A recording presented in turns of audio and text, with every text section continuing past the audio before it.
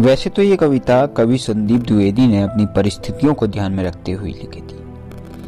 यह कविता उन्होंने उस समय लिखी थी जब वह सुबह उठने में असमर्थ थे और कई लंबी समय तक बीमारी में ग्रसित थे। पर आज के युवाओं की सबसे बड़ी समस्या यही है कि वह सुबह जल्दी नहीं उठ पाते। रात को देरी से सोना और सुबह देरी से उठना मानो उनके रूटीन में ऐसा आ गया हो। पर दोस्तों, इसके कई दुष्परिणाम हैं।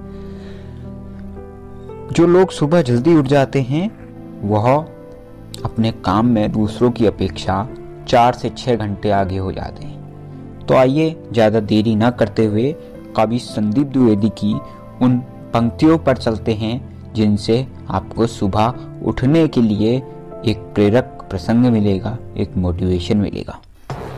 सब जाग रहे तू सोता रहे, किस्मत को थामे रोता रहे। जो दूर है माना मिला नहीं जो दूर है माना मिला नहीं, जो पास है वो भी खोता रहे लहरों पर मोती चमक रहे, झोंके भी तुझ पर सिमट रहे। ना तूफ़ान कोई आने वाला, सब तह तक गोते लगा रहे।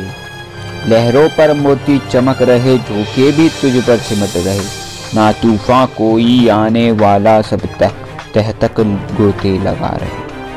लहरें तेरी कदमों में हैं, लहरें तेरी कदमों में हैं, तू नाव पकड़ बस रोता रहे।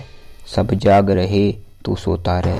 सब जाग रहे, तू सोता रहे। धूप अभी सिरहाने हैं, मौसम जाने पहचाने हैं।